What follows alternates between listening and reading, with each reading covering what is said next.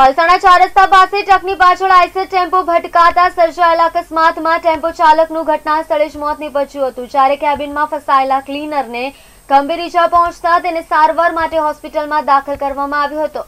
પલસાણા ચાર રસ્તા પાસે આગળ હંકારી જતી ટ્રકની પાછળ ટેમ્પો ભટકાતા અકસ્માત સર્જાયો હતો, જેમાં ટેમ્પોના ચાલકનું મોત નીપજ્યું હતું અને ક્લીનરને ઈજા પહોંચતા સારવાર માટે હોસ્પિટલમાં દાખલ કરાયો હતો.